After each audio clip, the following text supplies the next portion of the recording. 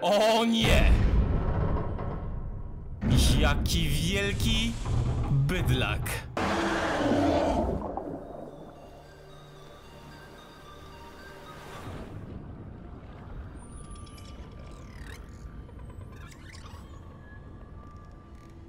A dzisiejszy odcinek napędza dla was RTV Euro AGD, które w związku z nadchodzącym Intel Extreme Masters przygotowało dla was promocję do 20% na wybrany sprzęt gamingowy, w tym do 10% na laptopy oraz desktopy z grafikami GTX oraz RX. Warunkiem skorzystania z promocji jest użycie kodu IMD2018 w trakcie wykonywania zakupów. Wszelkie ważne linki oraz informacje macie w opisie pod filmem, a teraz zapraszam was do oglądania. Poleś mi drodzy, jestem Dizzy Soskin z kolejny Szczyk Subnautica i mam nadzieję, że gipsoska apeczka w górę jest już strzelona, gdyż udamy się teraz do chyba najważniejszej placówki obcych na tej planecie, gdyż tamto miejsce właśnie ma rozwiązać wszelkie wątpliwości na temat samej choroby i prawdopodobnie znajdziemy tam wskazówki dotyczące tego, jak wykonać lekarstwo. Oczywiście to miejsce e, nie jest e, tak bezpieczne, jakby się mogło wydawać, gdyż w pobliżu pewnie jeszcze wpadniemy na smoka, czy nawet dwa, bo z tego co się orientuję, to jednego smoka mamy na górze i jednego jeszcze mamy na dole. Brakuje mi też jednej ważnej funkcji w moim egzoszkielecie, gdyż e, jest jeszcze jedno ramię, które mógłbym sobie w każdej chwili zdobyć i jest to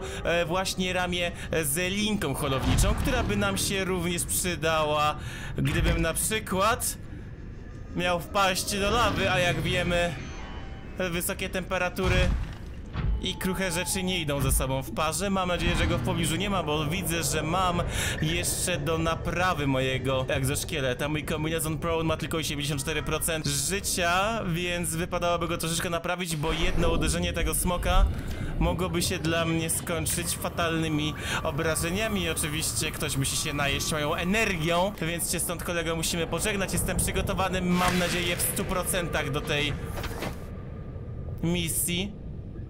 Przygotowałem sobie żarcie, picie i mam nadzieję, że to mi wystarczy. W pobliżu nie widziałem smoka, więc pewnie znowu sobie zrobił jakąś wycieczkę krajoznawczą poza mapę. A tam przed chwilą mignął wam mój dron, którego wysłałem tutaj, by sprawdzić, czy coś jeszcze należałoby przygotować, ale z tego co widziałem, to tam się już pojawiły takie mm, budynki obcych, które wyglądały jak farmy wiatrowe, e, farmy wiatrowe, farmy e, wilgoci ze Star Wars, Tatooine, tylko że tutaj zamiast e, wilgoci farmi się ciepło i pewnie wykorzystują na energię, tam gdzieś to mignęło i oczywiście jest nasz gość specjalny. Jakbyśmy go mogli ominąć? Jeżeli oczy mnie nie mylą, to tam jest ta placówka i moglibyśmy tam spokojnie doskoczyć na elementach, które nie są pokryte lawą, bo akurat tutaj nam się nic nie dzieje.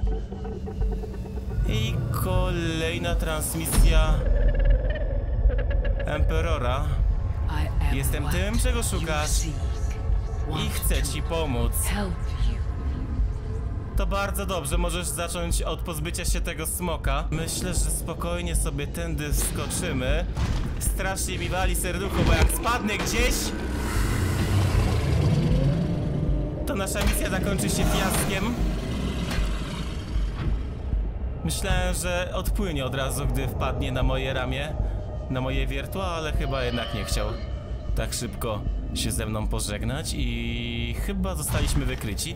Tak przy okazji chciałem wam pokazać, że mam te dwie niebieskie tabliczki i chciałem też się upewnić, że je ze sobą wziąłem, bo powiedzieliście mi, że potrzebuję przynajmniej dwóch niebieskich tabliczek do wykonania misji w tym miejscu. Nie! Nie!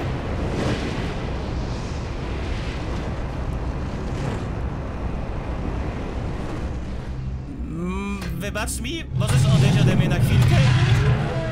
74% mamy, więc garnął mi 26% jednym uderzeniem. Myślę, że gdybym trafił na serię jego ognistych kul, to pewnie skończylibyśmy jeszcze gorzej, dlatego warto byłoby się udać jak najszybciej do miejsca, które jest chyba bezpieczne. On się tylko z nami bawi, on wcale nie jest jakoś groźny i zdenerwowany tym, że mu uciekam, prawda? On chyba starał się mnie przedrzeźniać. Ale tak, spróbujmy wyłączyć jedną z barier. Tutaj powinna być tak, ta niebieska tabliczka, włożymy sobie ją. I wyłączyliśmy zasilanie tej bariery tego pola siłowego. Oczywiście nie udam się do środka bez mojego kombinezonu, bo znając życie w pobliżu znowu będą jakieś chodzące pająkodrony obcych, które będą mnie próbowały zniszczyć. Ta placówka już od samego wejścia wygląda zupełnie inaczej niż reszta. Tłumaczę lokalną transmisję obcych. Uwaga, wstrzymano program z rozwoju szczepionki. Wstrzymano projekt wykrywania jaj imperatora, zneutralizowano żywe okazy, ewakuować się natychmiast. Nie podoba mi się to. Mamy kolejne terminale z danymi. I... Kolejne przedmioty, tak jak mieliśmy przy tym dziale, były te karabiny, jakieś rzeczy destrukcyjne, a tutaj mamy coś, co wygląda w miarę normalnie. Poskanujmy sobie to wszystko i sprawdźmy, co takiego się kryje. Prymitywny artefakt.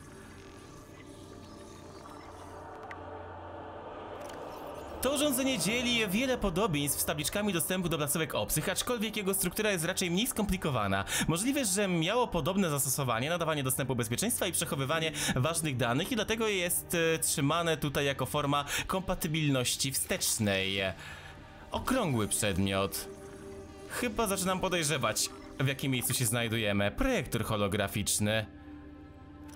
To urządzenie zawierało urządzenia sieciowe i holograficzną jednostkę projekcyjną. Było prawdopodobnie używane jako przekaźnik komunikacyjny przechwytujący i wyświetlający obraz użytkownika do oddalonego miejsca. Wydaje się, że nie ma innych podobnych urządzeń w zasięgu. No to ciekawe. Dlaczego na takie urządzenie się nie natknęliśmy? Czemu obcy nie zostawili czegoś podobnego wcześniej? A tu mamy posąg obcych. Statua obcych. Ten artefakt nie jest zasilany, co sugeruje, że raczej pełni funkcję ceremonialną, a nie praktyczną. Piramida przypomina pnąca, pnącza wijące się ku górze, ku ciepłemu niebieskiemu kamieniowi zamocowanemu nad nią. Może reprezentować roślinę, która rośnie na domowej planecie obcych, budynek o znaczeniu religijnym lub nawet przyciąganie grawitacyjne ich domowego układu słonecznego.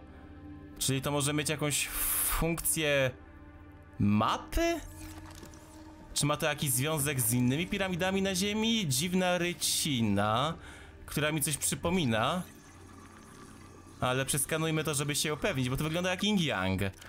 Ta rzeźba ma kilkaset tysięcy lat i została wykonana z nieznanego naturalnego włókna wyhodowanego w nieznanej planecie. Wykazuje uderzające podobieństwo do symbolu Yin Yang, to o czym mówiłem, starożytnej Ziemi. E, To podobieństwo można wytłumaczyć dwoma różnymi teoriami. Obcy odwiedzili Ziemię przed e, IV wiekiem przed naszą erą i wpłynęli na rozwój starożytnej chińskiej filozofii. Pojęcie Yin Yang może być uniwersalne. Aha, i to tak w wielkim skrócie, bo ściany tekstu na temat Yin Yang nie musimy czytać i starożytne ostrze mamy. Mam pewne podejrzenia co do tych obcych. Starożytne ziemskie ostrze. Starożytne ziemskie ostrze datowane na XIII wiek. Próbki krwi ostrza pasują do DNA siedmiu głów stanów z tamtego okresu. E, Niniejszy dowód potwierdza teorię, że kosmici są starożytną urodzoną w kosmosie rasą, która zajmowała się badaniem mniej rozwiniętych ras. Czyli coś jak rasy starożytne w Mass Effectie, które podobnie się zachowywały, bo na przykład e, pamiętacie DLC, nie pamiętam jak się nazywała ta rasa tej starożytnej mm, e, cywilizacji z Marsa, która też się śmiała z tego, że o, kiedyś na was polowałem, o, kiedyś wyskakaliście na drzewach, chociaż też bardziej to pasuje do tych ras z Andromedy, które bawiły się w biotechnologię i... Zostaw mnie. Które bawiły się w biotechnologię i ingerowanie w struktury DNA różnych istot. Przedmiot obcych kolejny. Sprawdźmy go. Materiał budulcowy obcych. Ten kamieniopodobny obiekt zawiera zarówno części organiczne, jak i mechaniczne. Ma on powiązanie genetyczne oraz technologiczne z projektem samoteleportujących się maszyn napotkanych w innym miejscu. Wygląda na to, że obecnie nie pełnią żadnej funkcji i oczekuje jakiegoś rodzaju procedury aktywacji. Materiały takie jak ten mogą być podstawowym budulcem obcych urządzeń technologicznych albo nawet samych kosmitów.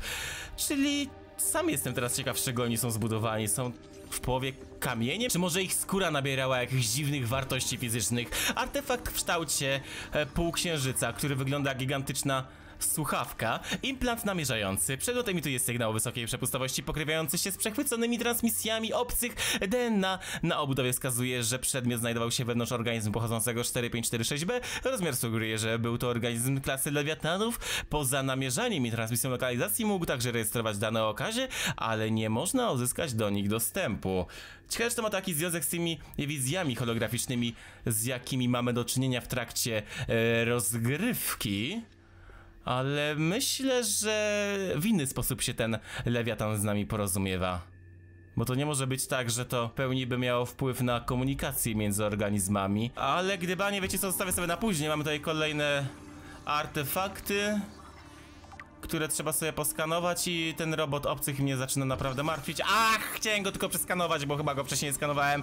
I oczywiście Franca musiała do mnie podejść. Tylko wiecie co, ja bym się go pozbył, bo ja bym chciał sobie tu jeszcze parę rzeczy poczytać, a on, znając życie, będzie mi w tym przeszkadzał. Chociaż myślałem, że go zniszczyłem, ale on ma w dupie fizykę i ma gdziekolwiek indziej prawa fizyki. Pusta gablota. Coś mi się zdaje, że nie do końca pusta i miałem rację, nanoboty. Skany pokazują jakiś rodzaj zaawansowanych nanobotów wewnątrz tej pozornie pustej gabloty. Te boty są znacznie mniejsze niż jakiekolwiek wytworzone w federacji i nie jest możliwe ustalenie ich dokładnej funkcji. Wypuszczenie ich byłoby jednak nierozważne. No, a nigdy rozważnym nie jest wypuszczanie małych niewidzialnych robocików. I kolejna technologia obcych. Urządzenie tłumaczące. Urządzenie tłumaczące przechowuje dane lingwistyczne ponad tysiące różnych języków. Rdzeń pozwala na tłumaczenie i czytanie tekstów obcych. Analiza zawartych danych ujawnia dużą liczbę starożytnych języków ziemskich, a także termin e, CHBC Live, który często pojawia się w danych urządzenia.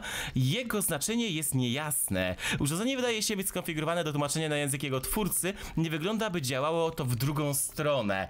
Czyli...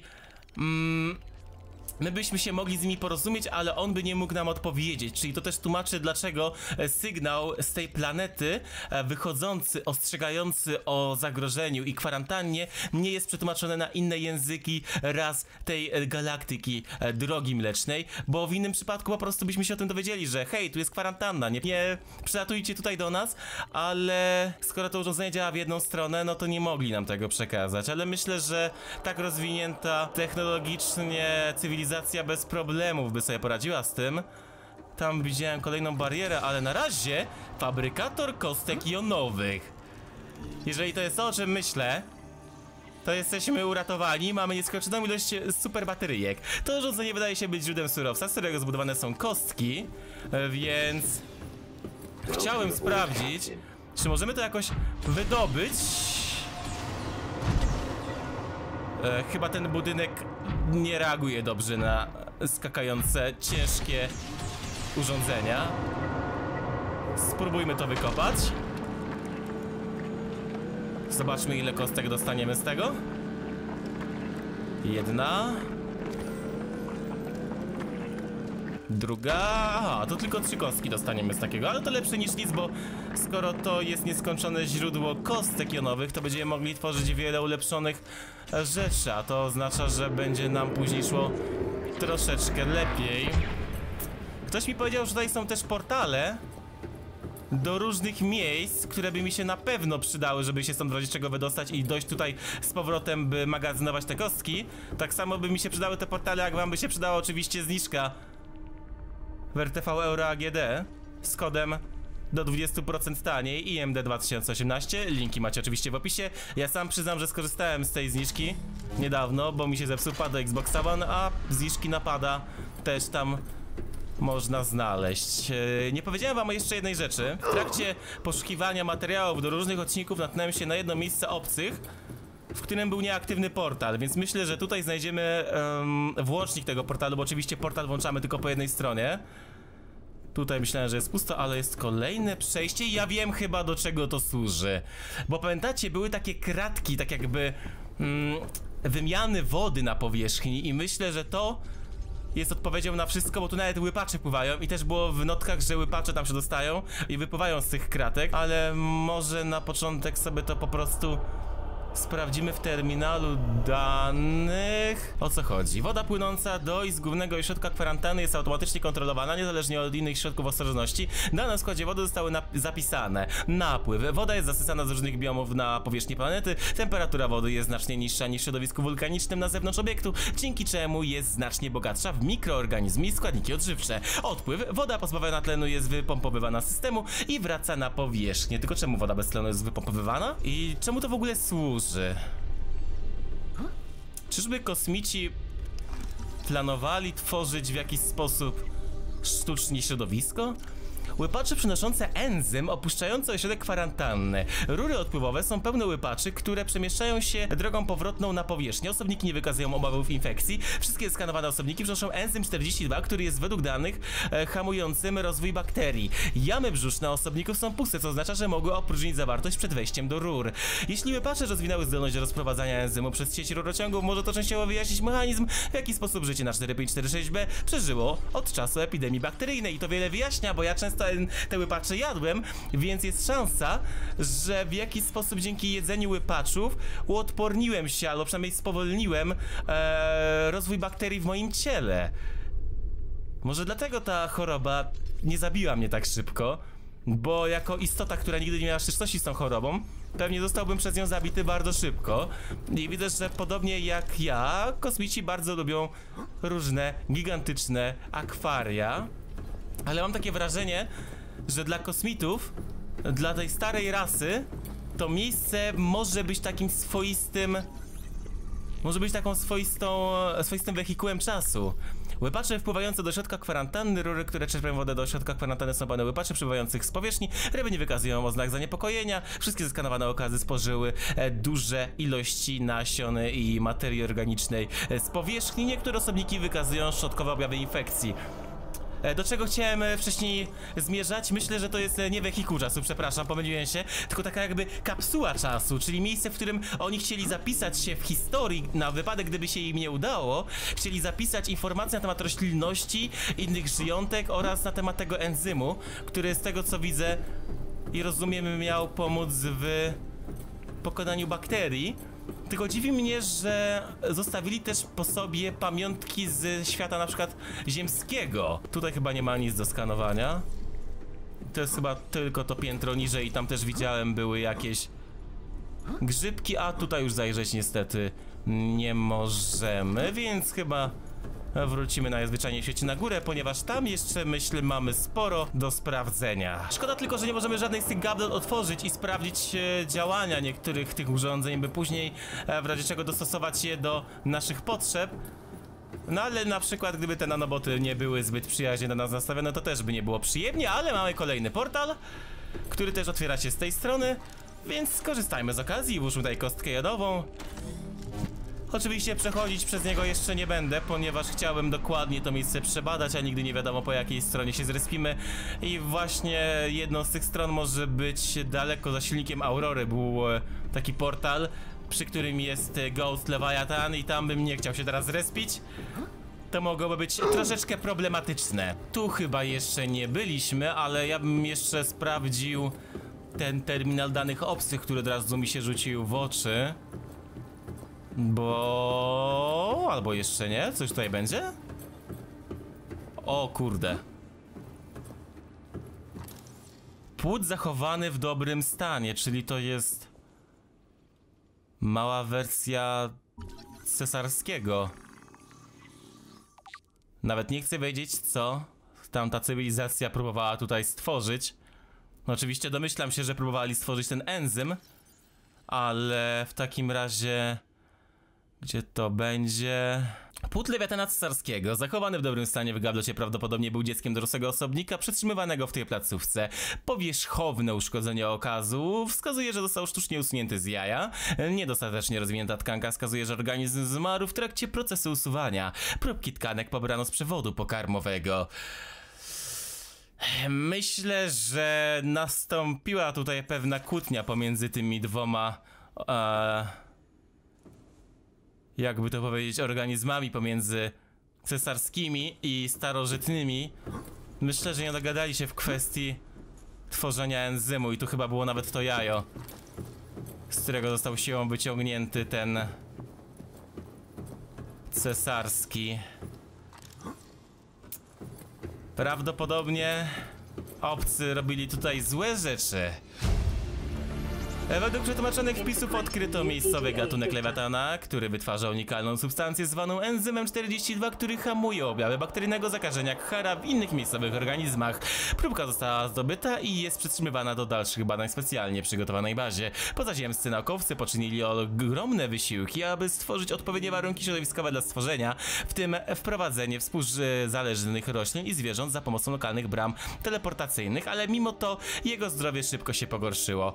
Podczas nałożonej kwarantanny wszystkie bramy teleportacyjne i pola siłowe zostały szczelnie zamknięte. Wszelkie próby przekształcenia enzymów w szczepionkę okazały się nieskuteczne. Skoro ta istota jest inteligentna, to myślę, że troszeczkę zezłościło ją to, że ta cywilizacja e, eksperymentowała na jej dzieciach. To za każdym razem będziemy tak straszyć.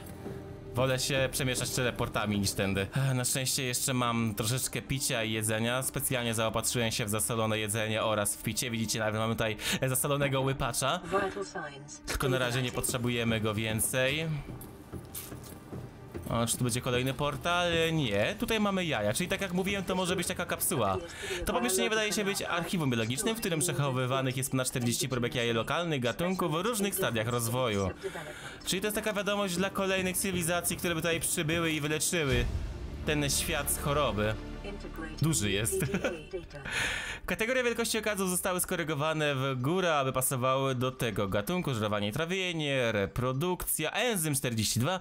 E, imperator wytwarza enzym 42 wewnątrz swojej jamy brzusznej, by rozłożyć swoje jedzenie i czasami wypluwa go do otaczających go wód. Odkryto, że ta substancja neutralizuje efekty bakterii i jej obecność w ekosystemie w dniu dzisiejszym może wyjaśniać, w jaki sposób życie na tej planecie przetrwało wybuch epidemii. Pozostaje do wyjaśnienia, jakim mechanizmem dostarczany jest enzym i pewnie kosmici woleli zrobić sekcję, zamiast się po prostu zapytać tego stworzenia, ale nie chcę ich oskarżać jeszcze bez wystarczającej ilości dowodów, bo mamy co prawda e, tam e, sekcję zwłok na górze, ale myślę, że 1600 lat miał nawet ten organizm. No to pewnie był troszeczkę bardziej doświadczony w życiu niż cywilizacja, która postanowiła wykorzystać go tak przedmiotowo, tego już nie możemy użyć. To ci już widziałem, ale nie możemy chyba nic tutaj przeskanować. I tych jaj chyba też nie mogę wziąć, a infekcja się nie zmienia. Co to jest? To jest to jajo w innym stadium chyba. Bo widzicie, tam na górze są inne stadia tych jaj, chyba że są inne jaja, ale nie da się tego przeskanować, więc wam niestety tego nie potwierdzę. E, tutaj myślę będzie kolejny portal, ale upewnijmy się. Zauważyliście też, że te e, drony obcych nie są tak agresywne jak na przykład ich odpowiedniki organiczne, czyli krabopająki. Tu już mamy trzeci portal. Dobrze liczę? Trzeci chyba, tak. E, jeden portal nieaktywny był obok działa, jeden jest tam za tą aurorą, to jeszcze jest jeden, o którym albo nie pamiętam, albo nie wiem. To teraz chyba jedynym miejscem, które nam zostało do sprawdzenia jest to, gdzie trzeba włożyć kolejną, myślę, niebieską tabliczkę. Oczywiście nie udam się tam bez mojego kombinezonu. Bo tam, z tego co widzę, było kolejne jakieś dziwne przejście. A, witaj na pokładzie, kapitanie. Ej, zaraz zobaczymy, co tu się zmienia, bo tam, widzicie, tam chyba trzeba będzie doskoczyć. Ale mogę się mylić. I jest basenik. To teraz pytanie, gdzie wskakujemy? Do basenu? Czy tam dalej? Bo tam widzę, że to jest zamknięte to przejście.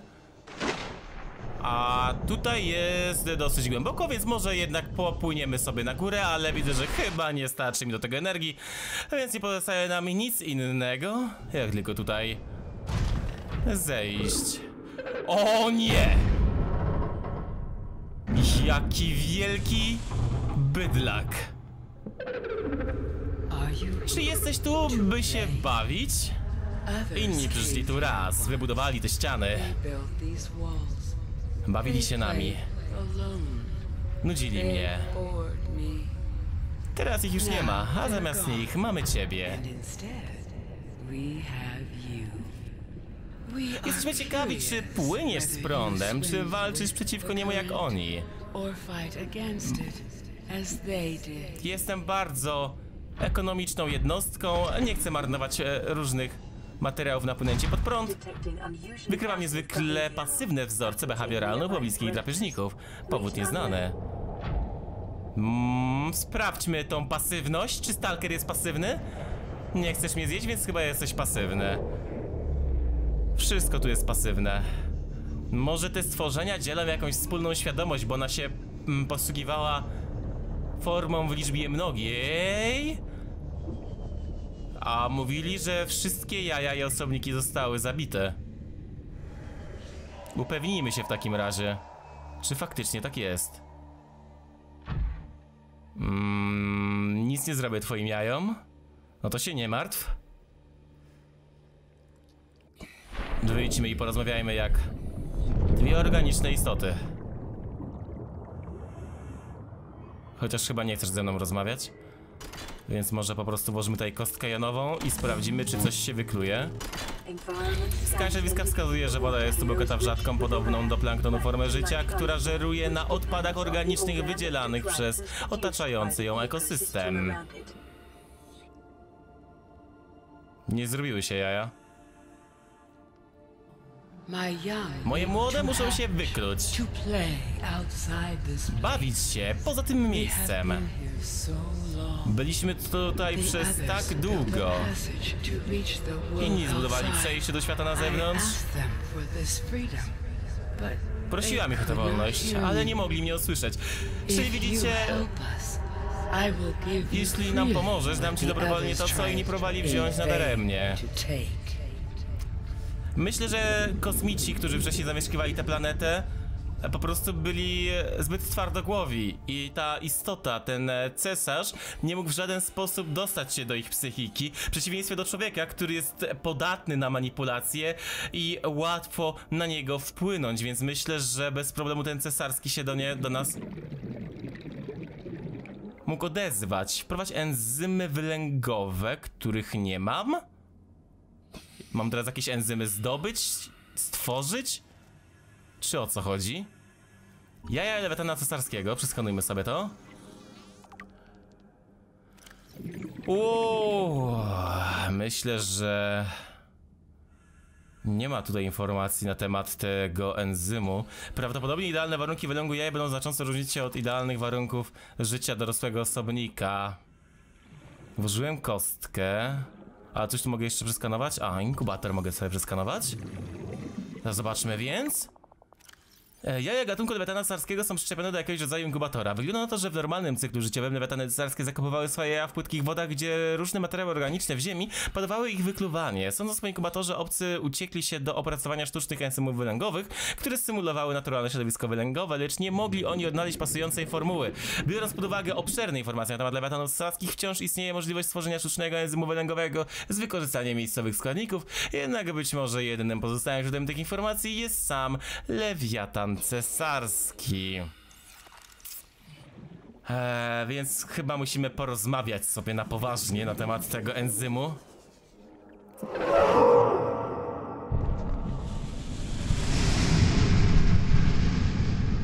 Dobrze, że jesteśmy po tej samej stronie. Mam nadzieję, że po tej samej stronie. Bez bicia. Mm, to tyle. To chyba chciał mi po prostu przekazać, że mam wpaść tam i zrobić małą rozróbę po drugiej stronie. Albo po prostu mam mu ten portal otworzyć, mu, jej, temu, nieważne. I może wtedy da nam jakieś informacje na temat tego enzymu. Może chcę mieć po prostu pewność, że my otworzymy portal i dopiero wtedy będziemy mogli wykluć te stworzenia, bo jeżeli je wyklujemy, to będziemy mieli dostęp do lekarstwa, bo one to lekarstwo wypluwają, więc pewnie przeskanujemy i stworzymy je sobie sami. Albo natura się sama tym zajmie. Sprawdźmy jednak, czy o to dokładnie im chodzi. Wrzućmy to.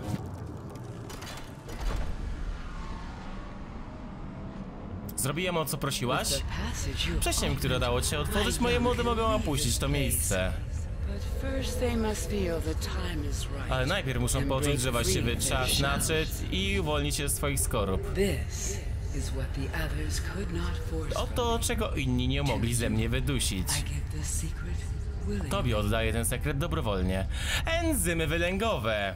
Substancja organiczna pochodząca od roślin występujących na naturalnych terenach godowych lewiatana carskiego stworzona, by wywołać wykluwanie się jaj. Nasiono żarówniczki, nasiono korony morskiej, próbka grzyba, próbka krzaka bulwowego, nasiono widmowego ziela. No to się świetnie.